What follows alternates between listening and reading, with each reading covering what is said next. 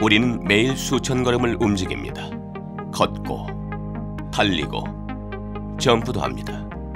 우리가 움직일 때마다 인체 관절은 체중의 두 배에서 다섯 배에 맞먹는 압력을 견뎌야 합니다. 그리고 뼈와 관절이 퇴화되어 심각한 건강 문제가 초래되기도 합니다. 다행스럽게도 우리 인체는 아미노당의 일종으로 연골의 주요 성분인 글루코사민을 생성합니다. 하지만 나이가 들어감에 따라 글루코사민의 체내 생산이 감소되어 관절이 외부 충격으로부터 회복되는 것을 어렵게 만듭니다. 이것이 유산화의 프로코사 글루코사민이 개발된 배경으로 하루에 1,500mg의 글루코사민을 제공하여 건강한 관절에 도움을 줍니다.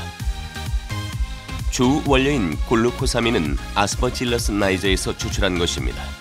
따라서 게나 새우에 알러지가 있으신 분들도 안심하고 섭취할 수 있습니다. 또한 비타민C와 부원료인 심황 추출물이 첨가되어 결합 조직의 형성과 기능 유지에도 도움을 줍니다. 이것이 관절 건강을 위해 유사나가 개발한 프로코사 글루코사민의 주요 특징입니다. 여러분도 프로코사 글루코사민으로 활력 넘치는 삶을 향유할 수 있습니다. 글로벌 nutrition 기업인 유사나는 700여 명의 엘리트 선수들을 포함하여 수많은 사업자와 소비자에게 개별 맞춤형 nutrition을 공급하고 있습니다.